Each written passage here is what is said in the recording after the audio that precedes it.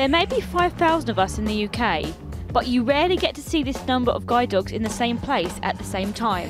What could possibly go wrong? Oh, well, oh, there you go. I would, I would have stopped the lever, I've got the boombox. Today I am at Parliament and I'm going to be joined by over 100 other guide dog owners and today we are here to lobby our MPs to enforce the laws that are designed to protect us guide dog owners against access denials.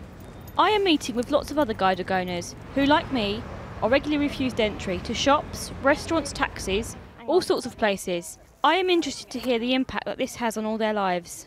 When I'm denied, it's like I'm treated like a second class citizen. I'm, I don't necessarily show it outwardly, but inside I'm hurting, I'm embarrassed, and that then turns to anger. That whole idea of the guide dog is crushed in one moment, in one second, by someone saying, No, you can't come in. The taxi driver has seen a dog, uh, a guide dog with me, and just completely driven off and left me to my own devices. It's very personal. You feel very attacked, you feel very threatened, and um, it's hard to stay cool. It's a, it's a nasty feeling.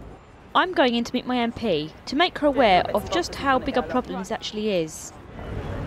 It was a really positive response, but also because there were so many of us in one place, so many guide dog owners all there together. We thought it was going to be carnage with so many dogs, but it turned out to be okay in the end. And it was just a really positive experience because we were all there collectively saying that this is happening to us.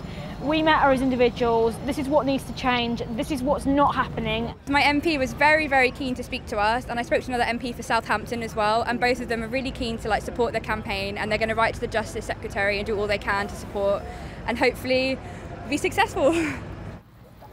when you're denied access, you're denied the chance to live a normal life. And I think that's what we've proven today because we're all here for a reason. And behind the guide dog is a, a guide dog owner and a person who's got emotions, who's got a life, who's got family, who's got friends, and who just wants to be able to live a normal life and get on with their life despite their disability.